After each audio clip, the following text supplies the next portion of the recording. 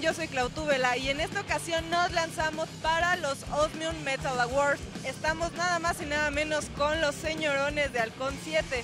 Ustedes ya los conocen, ya los han visto en el canal. Ellos vienen directos de Torreón, Coahuila, así que vamos a conocerlos un poquito, ya que andan aquí en la ciudad promocionando su nuevo video. Estás, Clau, pues aquí estamos de regreso en la Ciudad de México, como tú dices, pues eh, efectivamente, eh, pues eh, anunciándoles que el próximo 30 de abril estrenamos videoclip, Mago Negro se libera el 30 de abril en punto de las 12 del mediodía, así que bueno, pues todos atentos a seguirlo a través de los canales de video del Escuadrón, ya saben, Halcón 7 Bebo y H7 Oficial, 30 de abril, 12 del mediodía, el Mago Negro es liberado.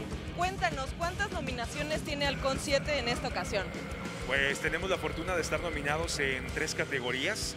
Eh, la primera de ellas, eh, Disco Rocker del Año.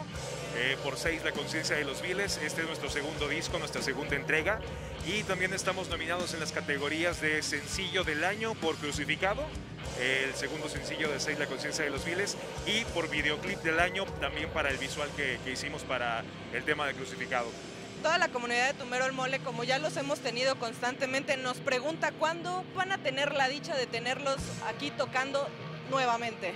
Bueno, pues pronto les daremos la sorpresa después de revelar el video el próximo 30 de abril.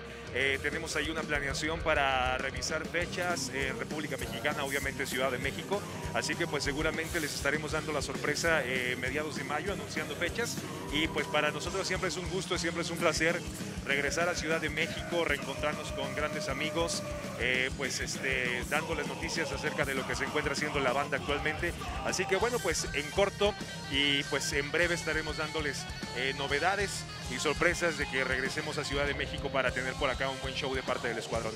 Ok, súper bien. No soy grosera, nada más que él no puede hablar mucho, así que el caballero es el que se va a aventar las respuestas, ¿vale? Ok, muy bien. Eh, yo soy muy fan de Halcón 7, escúchenlos, pandilla. A mí me gusta mucho la rola del Loco, pero en su público, ¿cuál es la rola que más les piden? Fíjate que son como varias, ¿no? Loco precisamente es un tema que, que nos piden mucho, sobre todo porque en el acto en vivo se hacen por ahí algunas pausas eh, dramáticas, ¿no? Se pone en silencio todo, todo el auditorio y es una dinámica bien interesante con, con, el público, con los seguidores.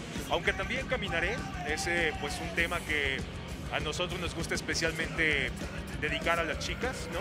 Es un tema muy bailable, muy, muy chido. Eh, nos atrevemos a decir que incluso hasta algo sexy, ¿no? Especial para ellas. Consta.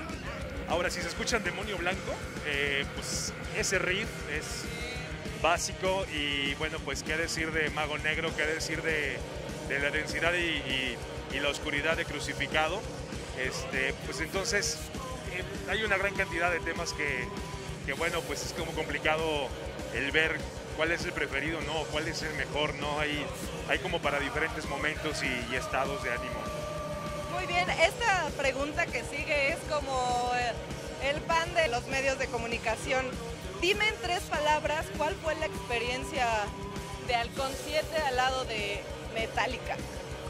Wow, pues son palabras y adjetivos muy trillados, ¿no? Increíble, ¿no? Esa sería una. Eh, retadora, ¿no?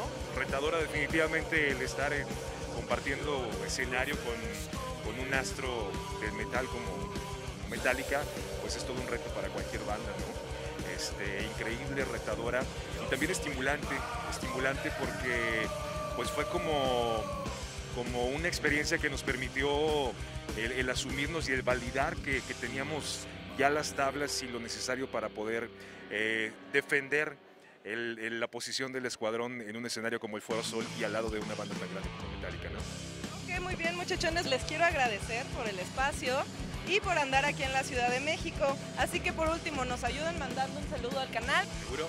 Nosotros somos Halcón 7, espera próximamente El Mago Negro llega 30 de abril, 12 del día. Escuchas, estás aquí en Tumero de Mole, somos Halcón 7, el reinado vive, la conciencia despertó, El Mago Negro ya viene.